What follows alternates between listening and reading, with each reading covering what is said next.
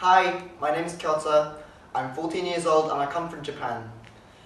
I've been playing the violin since when I was 3 years old and I'm currently studying at the Menuhin School in London to, since 2012. I'm very honoured to have been chosen to take part in, in the Menuhin competition 2018 in Geneva.